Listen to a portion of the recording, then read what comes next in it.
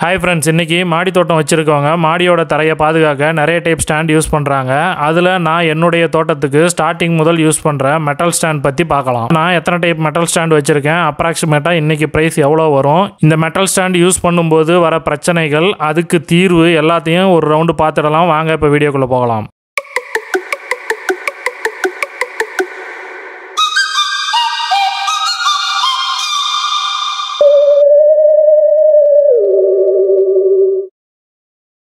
என்னுடைய மாடி தோட்டத்தில் நான் மூணு டைப் ஆஃப் ஸ்டாண்டு யூஸ் பண்ணுறேன் நீங்கள் ஃபஸ்ட்டாக பார்க்குற இந்த ஸ்டாண்டை நான் ஸ்லிம் டைப் ஸ்டாண்டுன்னு சொல்லுவேன். பக்கத்தில் இருக்கிறத டபுள் ஸ்டாண்டுன்னு சொல்லுவேன். அப்படியே முன்னாடி எங்கள் அப்பா நிற்கிறத டபுள் ஸ்டாண்டில் ஷார்ட் ஸ்டாண்டுன்னு சொல்லுவேன். மெட்டல் ஸ்டாண்டை பொறுத்த வரைக்கும் எப்படி வேணால் ரஃப் யூஸ் பண்ணலாம். ஏன்னா அது சீக்கிரமாக உடையாது. நான் வச்சிருக்க ஸ்லிம் ஸ்டாண்டில் சிக்ஸ் இன்ச்சு முதல் nine inch twelve inch fifteen inch அகலம் உள்ள க்ரோ பேக் வரை ஈஸியாக யூஸ் பண்ணலாம். அதே பிளாஸ்டிக் பாட்டுன்னு எடுத்துக்கிட்டோம்னா ஃபோர் இன்ச்சு முதல் டுவெண்ட்டி ஃபோர் இன்ச்சு வரைக்கும் எது வேணா வைக்கலாம். எந்த இஷ்யூவும் வராது. என்கிட்ட இருக்க டபுள் ஸ்டாண்டில் க்ரோ பேக் பொறுத்த வரைக்கும் சிக்ஸ் இன்ச்சு முதல் பதினெட்டு இன்ச்சு வரைக்கும் வைக்கலாம். அதே பிளாஸ்டிக் பாட்டா இருந்தால் ஃபோர் இன்ச்சில் இருந்து இருபத்தி நாலு இன்ச்சு வரைக்கும் எது வேணாலும் வச்சுக்கலாம். ஈவன் நான் அதில் ஒரு சில்வர் போனி வச்சுருக்கேன். அது கிட்டத்தட்ட எயிட்டீன் இன்ச்சு க்ரோ பேக் சைஸுக்கு ஈக்குவலாக இருக்கும். பட் ஆனால் வெயிட் ஹெவியாக இருக்கும். அதை நீங்களே வீடியோவில் பாருங்கள் மெட்டல் ஸ்டாண்டை பொறுத்த வரைக்கும் வெயிட் எவ்வளோ வேணால் ஏற்றலாம் நல்லா ஸ்டெடியாகவே இருக்கும். நாங்கள் எங்கள் வீட்டில் செஞ்ச ஸ்டாண்டை அந்த மாதிரி ஸ்டேடியாக வர மாதிரி தான் செஞ்சுருக்கோம்.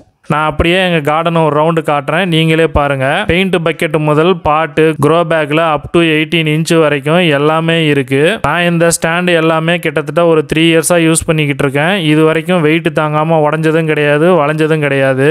நான் ஆன்லைனில் விற்கிற மாதிரி திக்னஸ் கம்மியான இரும்பை நாங்கள் யூஸ் பண்ணலை. நல்ல திக்னஸாக ஹெவியாக போட்டு தான் யூஸ் பண்ணியிருக்கோம். அதுவும் ஆன்லைன் ப்ரைஸை விட கம்மி பட்ஜெட்லேயே பண்ணியிருக்கோம். இப்போது நாங்கள் வச்சுருக்க மெட்டல் ஸ்டாண்டோட சைஸை பார்த்துடலாம் டபுள் ஸ்டாண்டில் ஷார்ட் ஃபஸ்ட்டு எடுத்துக்கிட்டோம்னா அது அஞ்சு அடி நீளம் பதினஞ்சு இன்ச்சு அகலம் கொண்டது.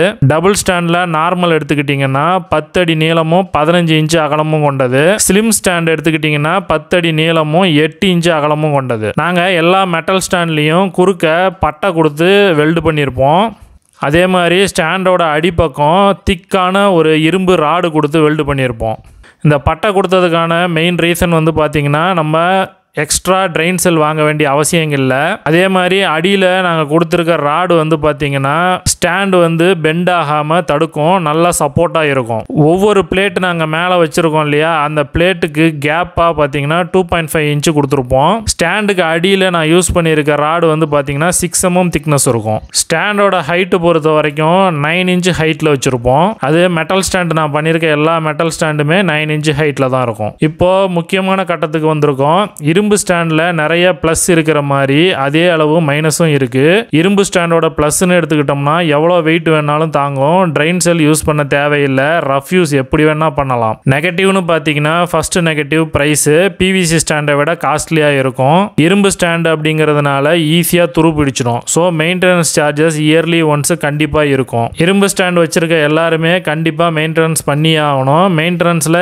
என்ன பண்ணலாம் அப்படிங்கிறத சிம்பிளாக நான் சொல்கிறேன் இப்போ நீங்கள் வீடியோவில் பார்க்குற ஸ்டாண்டு வந்து பார்த்தீங்கன்னா நாங்கள் வச்சதுக்கப்புறம் எந்த மெயின்டெனன்ஸ் ஒர்க்குமே பண்ணாது. கிட்டத்தட்ட டூ இயர்ஸ் ஆயிடுச்சு. நீங்களே பாருங்கள் இந்த ஸ்டாண்டில் எவ்வளோ துரு இருக்குன்ட்டு. இதை அப்படியே கண்டினியூவாக வச்சு யூஸ் பண்ணும்போது என்ன ஆகும்னா அந்த இரும்பு வந்து ஃபர்தராக டேமேஜ் ஆகி அந்த பிளேஸ் வந்து அப்படியே உடஞ்சி விழுந்துரும். இந்த மாதிரி டேமேஜ் ஆகாமல் இருக்க என்ன பண்ணலாம்னா இயர்லி ஒன்ஸு நீங்கள் ஆடிப்பட்டத்துக்கோ இல்லை எதுக்கோ கார்டனை மெயின்டைன் பண்ணும்போது க்ரோ பேக்ஸ் எல்லாம் கீழே எடுத்து வச்சுட்டு அந்த ஸ்டாண்டு மேலே இருக்க துருவை ஒரு ஃபைல் வச்சோ இல்லை ஒரு ராடு வச்சோ தட்டி விடுங்க.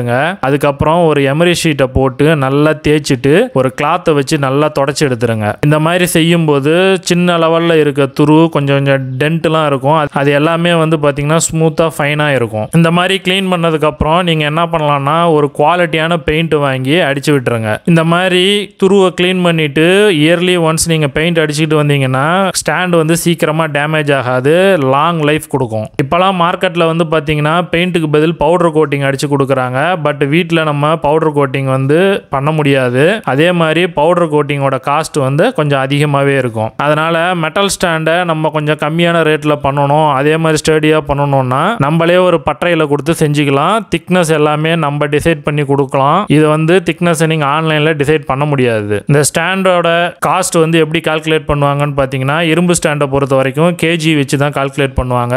இன்னைக்கு இரும்போட வெயிட் ஒரு கிலோ எழுபது ரூபாய் விற்கிறாங்க நம்ம பண்ணுற ஸ்டாண்டு சப்போஸ் பத்து கிலோ வருது அப்படின்னா பத்து இன்ட்டு எழுபது ரூபாய் போட்டிங்கன்னா எழுநூறுபா ஆயிடுது. இதே வெளியில் பட்டறையில் கொடுத்து நம்ம வெல்டிங் பண்ணும்போது அந்த வெல்டர்ஸ் வந்து பெர் கேஜிக்கு ஐம்பது ரூபாய் வாங்குவாங்க. அப்போ பத்து இன்ட்டு ஐம்பது ரூபாய் ஐநூறுரூபா ஆயிரத்தி இரநூறுபா வந்து நமக்கு ஸ்டாண்டோட மெட்டீரியல் காஸ்ட்டும் செய்கூலியும் வந்துடும் இந்த செய்கூலியில் ரெட் ஆக்சைட் பெயிண்ட் அடித்து கொடுத்துடுவாங்க அவங்க. அதுக்கு மேலே நம்மளுக்கு பிளாக் கலரோ கிரீன் கலரோ ப்ளூ கலரோ எந்த கலர் வேணுமோ அந்த பெயிண்ட் வந்து நம்ம வாங்கி அடிச்சுக்கணும். அது வந்து நூற்றி அறுபது ரூபாய் பக்கமாக வரும். ஸோ பத்து கிலோ ஸ்டாண்டு செய்யறதுக்கு ஆயிரத்தி முந்நூற்றி அறுபது ரூபாய் வரும். எங்கள் வீட்டில் நாங்கள் வச்சிருக்க ஸ்லிம் ஸ்டாண்ட் வந்து கிட்டத்தட்ட ரெண்டாயிரத்தி அறநூறுபா வரும். டபுள் ஸ்டாண்டை பொறுத்த வரைக்கும் பார்த்தீங்கன்னா கிட்டத்தட்ட ஃபைவ் தௌசண்ட் ருபீஸ் பக்கமாக வந்துடும் டபுள்லேயே ஷார்ட் ஸ்டாண்ட் எடுத்தீங்கன்னா அது ஒரு த்ரீ தௌசண்ட் வந்துடும் ஓகே ஃப்ரெண்ட்ஸ் இன்னைக்கு இது வரைக்கும் நான் இந்த வீடியோவில் சொன்ன இன்ஃபர்மேஷன்ஸ் உங்களுக்கு யூஸ்ஃபுல்லாக இருக்கும்னு நம்புகிறேன் இந்த வீடியோ பிடிச்சிருந்தா ஒரு லைக் பண்ணிடுங்க. உங்கள் ஃப்ரெண்ட்ஸுக்கும் ஷேர் பண்ணுங்கள் மறக்காமல் சேனலை சப்ஸ்கிரைப் பண்ணி கூட இருக்க பெல் ஐக்கானையும் ப்ரெஸ் பண்ணிங்க தேங்க்ஸ் ஃபார் வாட்சிங் Thank